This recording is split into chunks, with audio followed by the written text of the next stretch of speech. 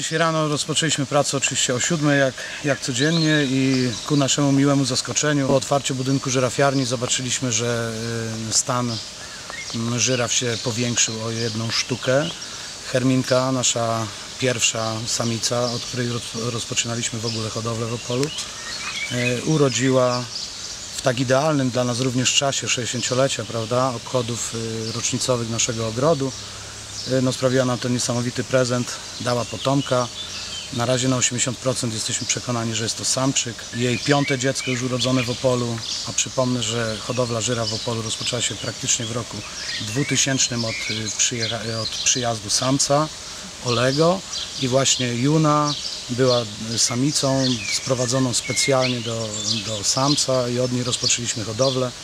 Ona też urodziła pierwsze żyrafiątko w Opolu w 2004 roku, a ten uro, urodzony jej synek jest już piątym jej dzieckiem urodzonym w Opolu. U żyrafy najważniejsze jest oczywiście to, żeby ona y, młode po urodzeniu wstało i zaczęło podążać za matką. Dzieje się to bardzo wbrew pozorom, mimo y, rozmiarów tego zwierzęcia, prawda, bardzo szybko. E, i z naszych obserwacji, z naszych, naszych doświadczeń wiemy, że powinno ten, ten proces takiego wstawania i podążania za matką powinien się zamknąć od y, pół godziny do dwóch godzin. Tutaj, tutaj znaleźliśmy już y, młode w takim stanie, że było suche, wylizane, wypieszczone, podążające za mamą.